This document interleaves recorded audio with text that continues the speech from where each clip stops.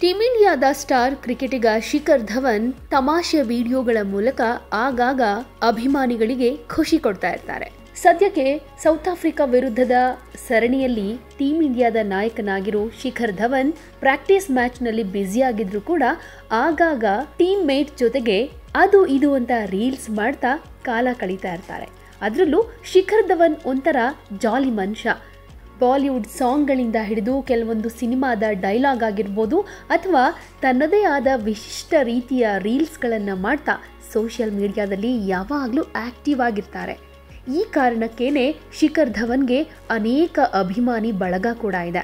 Next ಯಾವ reels ಮಾಡ್ತಾರೆ ಶಿಖರ್ ಧವನ್ ಅಂತ ಕಾಯೋ ಮಂದಿ ಕೂಡ ಇದ್ದಾರೆ. ನಾವೀಗ ಒಂದು ರೀಲ್ಸ್ ತೋರಿಸ್ತಾ ಇದ್ದೀವಿ ನೋಡಿ. ಸುಮ್ಮನಿರ್ಲಾರ್ದೆ ಹೌಸ್ ಕೀಪಿಂಗ್ ಮಹಿಳೆಯನ್ನ ಕೆಣಕಿ ಹೇಗೆ ಒದೆ ತಿಂದಿದ್ದಾರೆ ನೋಡಿ.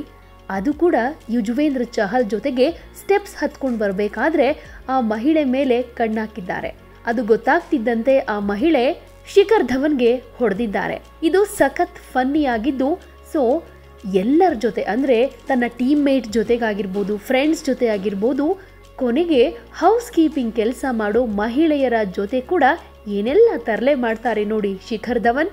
ಈ ವಿಡಿಯೋ ಈಗ ಸೋಷಿಯಲ್ ಮೀಡಿಯಾದಲ್ಲಿ ಸಿಕ್ಕಾಪಟ್ಟೆ ವೈರಲ್ ಆಗಿದ್ದು, ಕೆಲವರಂತೂ ಶಿಖರ್ ಧವನ್ ಕಾಲೆಳೆದ್ರೆ ಇನ್ ಕೆಲವರು ಶಿಖರ್ ಧವನ್ ಆಕ್ಟಿಂಗ್ ನೋಡಿ ಖುಷಿ ಪಡ್ತಿದ್ದಾರೆ.